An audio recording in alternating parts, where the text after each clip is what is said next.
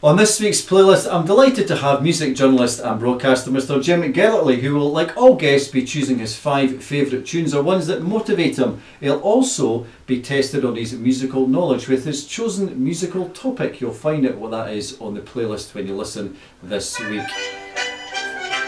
Is that your ringtone, Jim? Wasn't expecting that one. Phew.